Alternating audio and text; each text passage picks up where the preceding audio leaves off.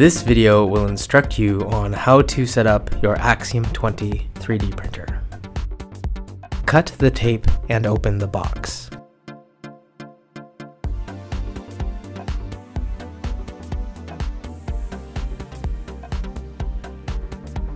Read the instruction manual before using the printer. Remove the top foam. Place the printer outside of the box on its back.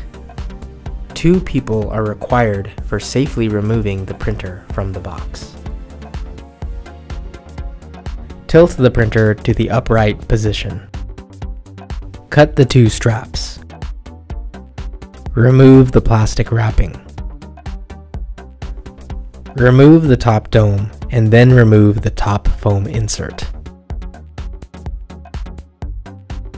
Cut the zip ties on the rails.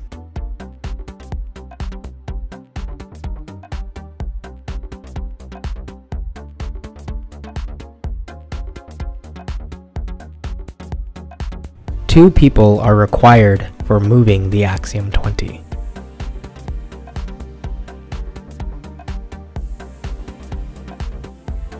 Remove the accessories from the printer.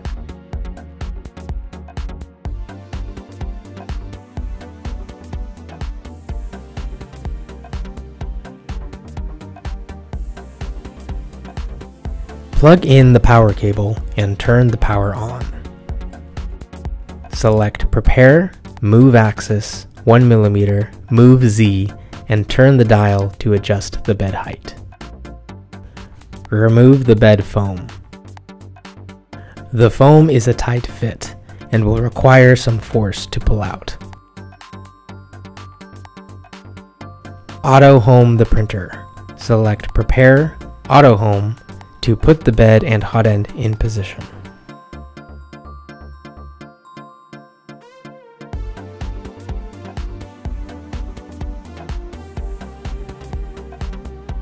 Remove the tape and stickers from the glass plate.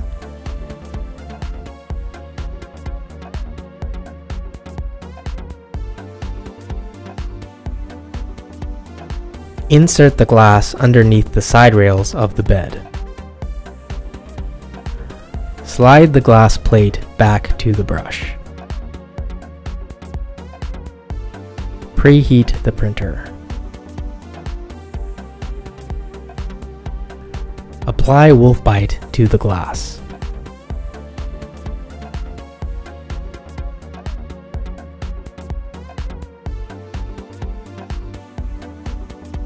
Insert the Teflon tube into the push-to-connect fitting on the spool holder. Insert the spool holder onto the back of the printer.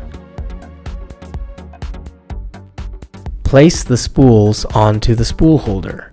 Feed the filament through the Teflon tubes.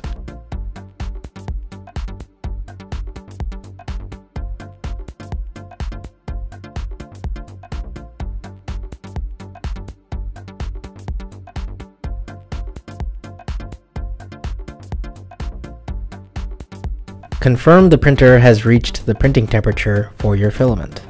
For ABS, 240 degrees is necessary. Load the filament into nozzle 1.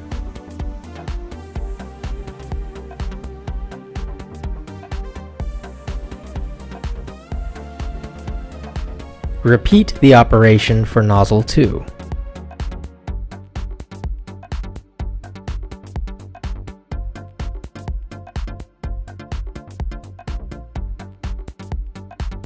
You're all set.